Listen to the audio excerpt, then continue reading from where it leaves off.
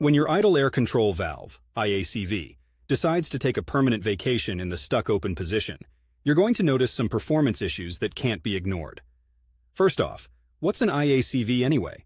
Essentially, it's the traffic cop for air intake in your car's engine. It manages how much air bypasses the throttle plate when your foot isn't pushing the pedal to the metal. Its job is to keep the engine running smoothly, especially at idle. Symptoms when the IACV calls in sick. 1.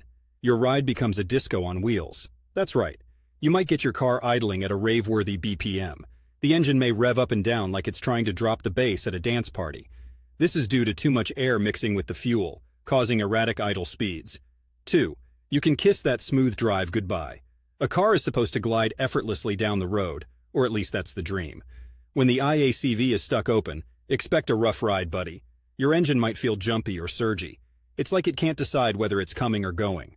3. Gas. Who needs it? Your engine will burn through fuel like it's going out of style. Because the IACV is failing at its duty, the engine runs leaner. And no, not in a good fit for summer way. This means the poor air-fuel mixture can make your engine less efficient and your wallet lighter. 4. Your car plays hard to get when starting. Ever try to start your car and it just doesn't want to cooperate? When the IACV is struck open, the excess air causes a delay or extends the number of cranks before the engine starts. 5. Check engine light gala. It's less of a party and more of a heads up. Your car's way of telling you something's wrong.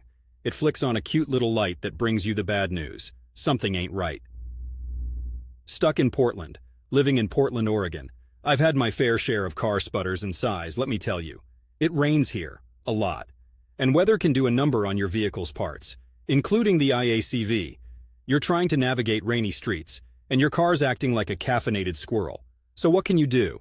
Well, a cleaning might just do the trick if the valve isn't too far gone. But often it's best to replace it to get your car humming along again as it should. Keeping your IACV in check means smoother idling at traffic lights on Burnside Street, and better fuel efficiency while you're cruising through the Pearl District. It's not just about uninterrupted drives.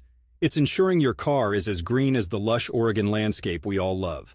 Trust me, you don't want to ignore the signs your IACV is giving you. Your vehicle's performance and your driving sanity depend on it.